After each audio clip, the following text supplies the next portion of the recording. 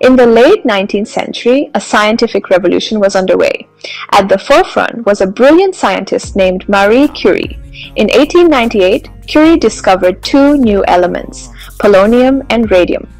Her groundbreaking work unveiled the phenomenon of radioactivity, a term she coined herself. Curie's research revealed that certain materials emit particles and energy, fundamentally changing our understanding of atomic structure.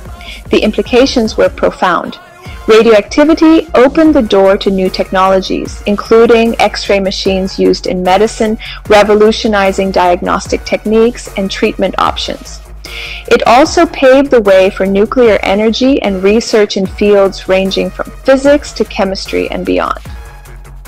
Marie Curie's tireless dedication not only earned her two Nobel Prizes, but also laid the foundation for much of modern science and technology. Her legacy continues to illuminate the world.